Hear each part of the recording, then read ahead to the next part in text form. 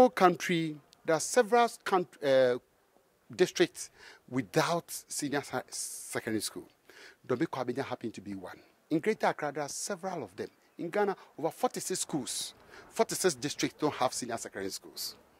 So it came to Parliament, and there was this discussion about some loan the then government wanted to build some senior high school. Massa, there were two chumps of this senior high school. One area is for people from Ghana government building the school, and the other area being financed by uh, World Bank.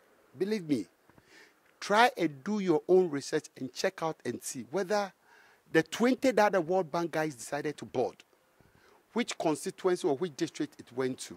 In Greater, the whole Greater Accra, how many of the 20 the World Bank wanted to board came to Greater Accra? Only have it two. The rest of the others that the government government wanted to build, look, there are areas where they only dig a, a sword cutting, and that is the end. Adwoa Safo, what she said was that she was the one that helped or facilitated for this school to be built in the area where she was making that particular conference, which is atomic area. What she did was to talk to several other people, not necessarily any other. I mean, she went to Professor Nyarko, who is the Director General of Ghana Atomic Energy. There are correspondence to show. I have the copy of the correspondent to show the response that uh, Professor Nyarko also gave, asking her to look for a land and do a site plan. That was after a discussion with the minister in charge of education, this Nana Opoku Achibai. That once you're able to get a land, we'll be able to make sure we put up this particular edifice for you. Adwoa insisted she doesn't want Ghana government one, she wants the World Bank one.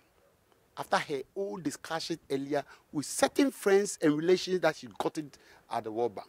So they make sure at least one place got to her. When it got to her, her role was as the MP for the area, all that she could do to ensure that uh, the project is completed. That's what she did. Now, today, NDC guys are saying nobody should take credit, including World Bank people. Nobody should take credit. And uh, it was a project bought by John Dramani Mahama. It was a loan facility, and that facility will be paid by yourself and then your future unborn generation. So, whatever thing that they are saying, they are doing it out of desperation. Today, we hear they've issued a statement and the statement is that Honorable has issued a statement that she's pleading with them. She never said that. Uh, she's pleading with them that she will never say that again. Please, take it from me today. Honorable has never and never. Those of us in the constituents, I'm a doctor. I mean, I know what I have up.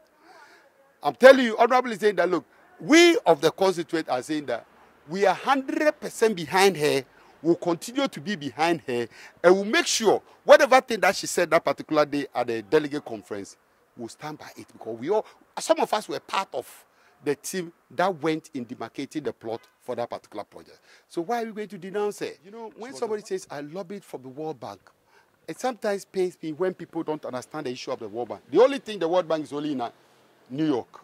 Of course, that's where she went to school. Opposite her school, George Washington GC, that's the Bank building. She has a lot of friends in there. When it comes to Ghana, we have the office here in Ghana. Initially, she went to the people here in Ghana and said, Hello, Basa, there's this project or this man that has come to Ghana. You're going to build some school. Can you help us get one in my constituency? Because in my constituency, I don't have any school there. Then the people say, oh, please kindly go to the government because the money will be given to the government. Once you give it to the government, you can then go through that. He went further to talk to the government. And they were demanding that she get a piece of land, which she was able to acquire.